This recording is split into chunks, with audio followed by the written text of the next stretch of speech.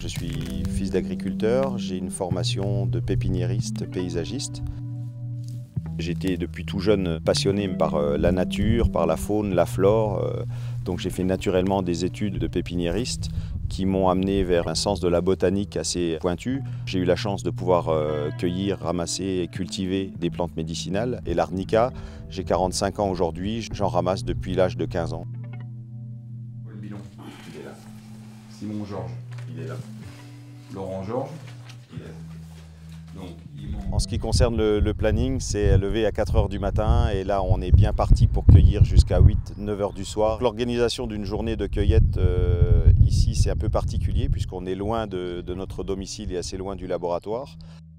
On se doit de cueillir des plantes euh, fraîches, donc euh, toute la difficulté est de cueillir en un minimum de temps un maximum de plantes, de la conserver euh, fraîche et de pouvoir la- l'amener au laboratoire afin qu'elle puisse être transformée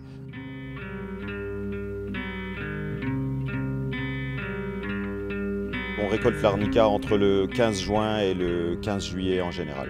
On est sur euh, le massif des Vosges dans le département du Haut-Rhin et c'est un des plus grands sites, en tout cas si ce n'est pas européen, c'est un des plus grands sites français de cueillette d'arnica.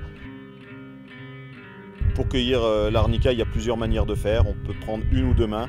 Moi j'essaie de prendre plutôt deux mains parce qu'on a tendance à moins casser la plante. Les principes actifs sont répertoriés sur l'intégralité de la plante, de la fleur à la tige, aux feuilles et une partie de la racine.